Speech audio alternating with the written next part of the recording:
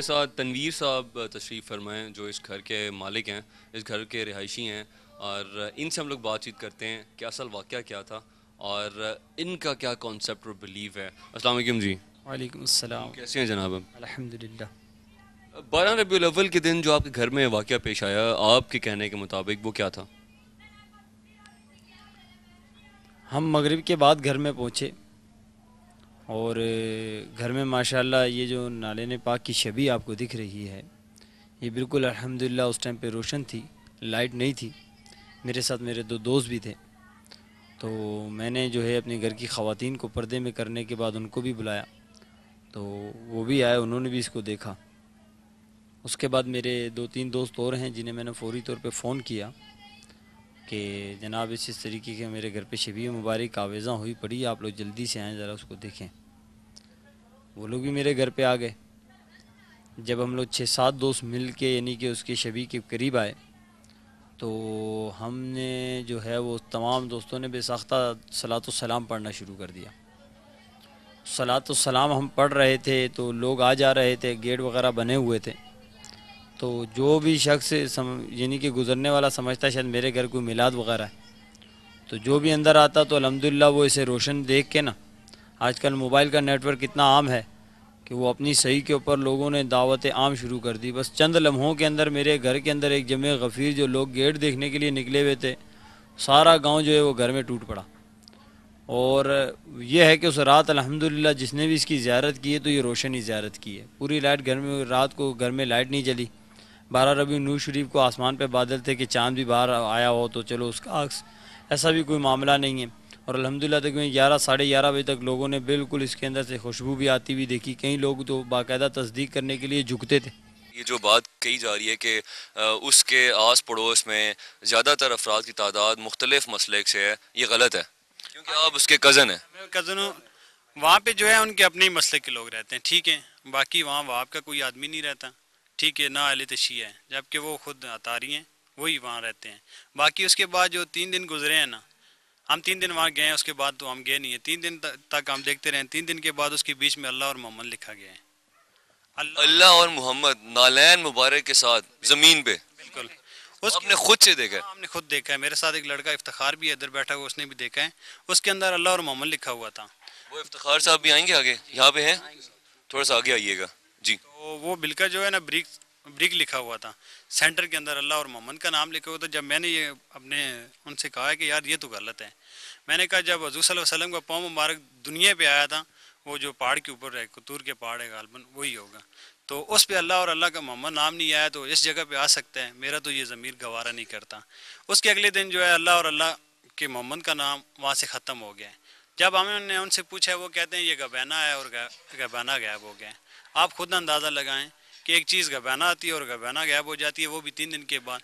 अगर वो नलैन पहले ही आता तो उसके साथ लिखा हुआ होता ना। जब आपने पहली रात को देखा वहाँ पे या अल्लाह या मोहम्मद नहीं लिखा हुआ था। बिल्कुल नहीं लिखा हुआ था। दूसरे तीसरे दिन लिखा गया। बिल्कुल। फिर आपने जब उनको मना किया इतराज़ किया उन्होंने मिटा दिया। बिल्कुल। क्या कि खुद से गायब हो गया। कि बाहर से कई लोग आए हैं औरतें आई हैं बच्चे आए हैं उन्होंने भी उनके आगे सवाल किया कि सर ये हमें मिट्टी दिखाएँ। उन्होंने खुशबू लिए खुशबू आई नहीं मिट्टी की। फिर उन्होंने उनके आगे क्वेश्चन किए कि यहाँ अल्लाह और मोहम्मद का नाम लिखा हुआ है।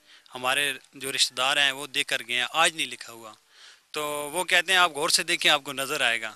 तो उन्होंने आगे से जवाब दिया, हम गौर से ही देख रहे हैं। हमें तो नज़र नहीं आ रहा। तो फिर जो है, अभी तो कुछ दिन तक वो नलैन कहते रहे अब भी उसके बाद इन्होंने कहा कि ये नलैन भी नहीं है, ये शबी है।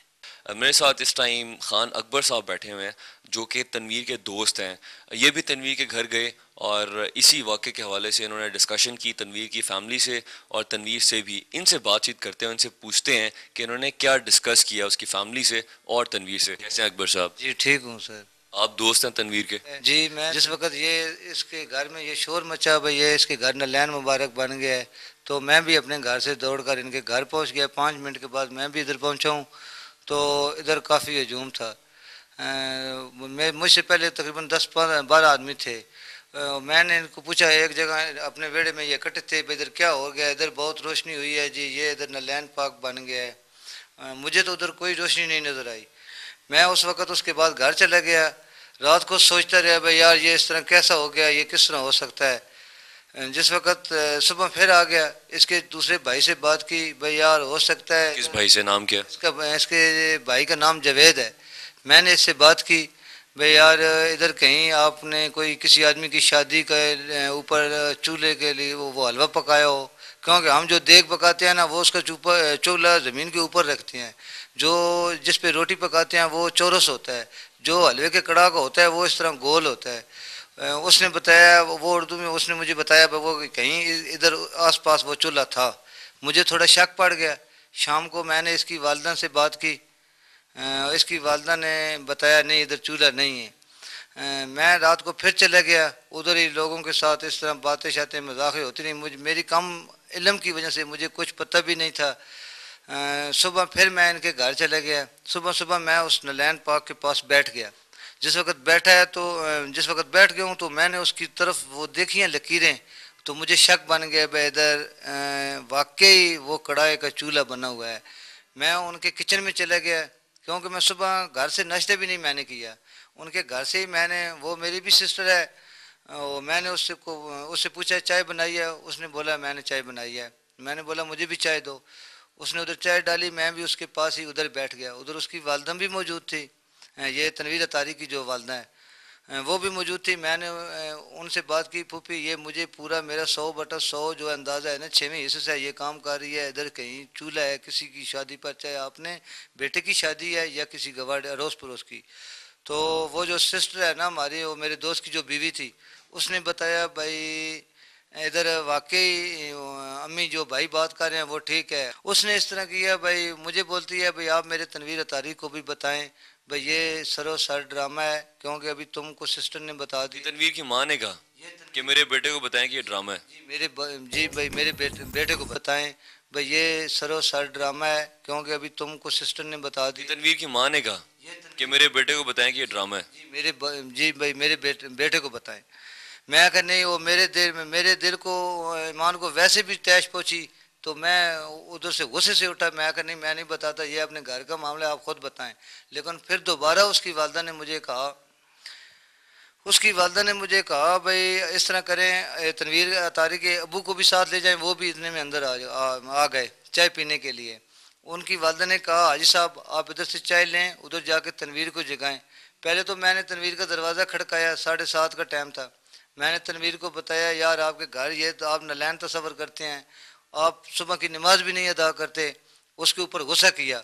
वो आखी मलते मलते उठा बोलते है, क्या बात है? मैं कहा, यार, ये दूसरे कमरे में आए क्योंकि उस कमरे में उसकी बीवी भी सोई सोई हुई थी। वो दूसरे कमरे में उसका भाई था, उसको अंदर ले गए हैं। जिस वक्त वो अंदर चरपाई पे बैठा है तो मैं और तनवीर तारी एक चरपाई पे थे और सामने वाली चरपाई पे उसके वालद साहब और उसका भाई था। तनवीर बोलता